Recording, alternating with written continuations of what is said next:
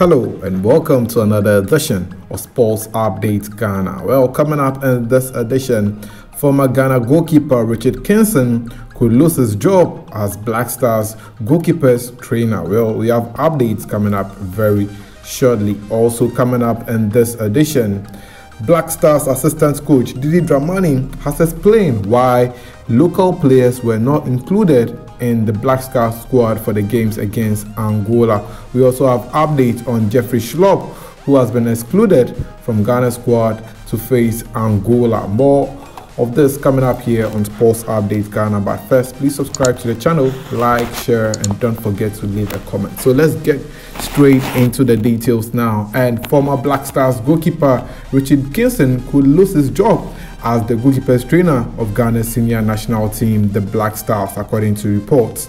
Well, Chris Hughton, who is the new head coach of the Black Stars, is said to have made a few changes to the technical team, which could see a new goalkeepers trainer as well as a video analyst come in to replace the already existing ones.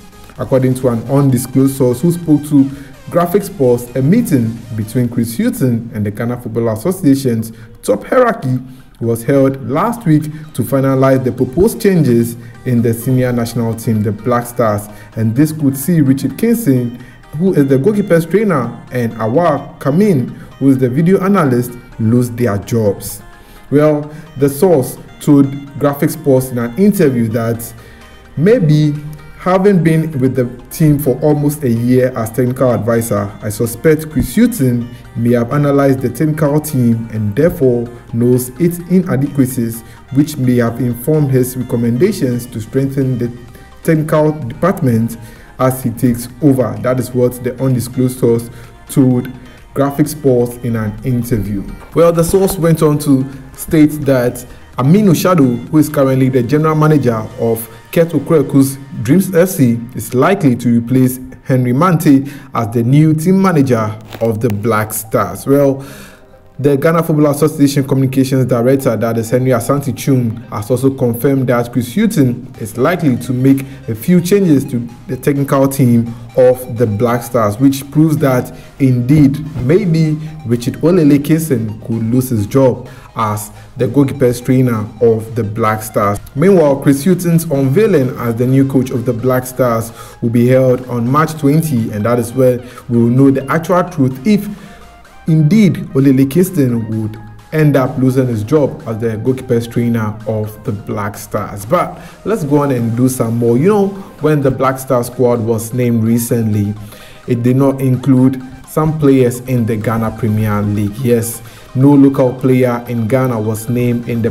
current Black Star squad to face Angola in the doubleheader in the AFCON qualifiers? Well, we've gotten an explanation as to why there is no local player in the Black Star squad to face Angola in the AFCON qualifiers. Well, according to Black Stars assistant coach Masudi Dramani, they decided to exclude local players from the squad because they want to improve on the squad they took to the World Cup and as such they need players who are in consistent form so that they will improve and augment the squad. In an interview with Citi Sports, this was what Didi Dramani told the press. He said, when you look at the team, it is made of consistent squad and we want to be, remain consistent.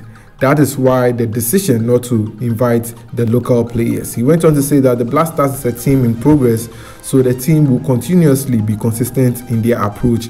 The team is a work in progress, so what you find is actually what is indeed at the shortest possible time. In the longest possible time in this era, you need to look out for things that will give you immediate team structure.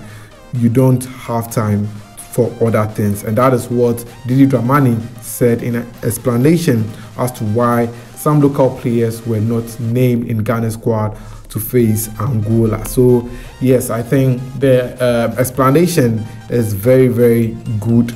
That the team is a team that they want players who are in top form and playing at the highest level to be playing. Now, before we go, a former vice president of the Ghana Football Association, George Afriyie, has expressed worry over the exclusion of Jeffrey Schlupp from Ghana squad to face Angola in the doubleheader later this month. Coach Chris Hughton left out the Crystal Palace player in his 25-man squad for Ghana's upcoming games against Angola.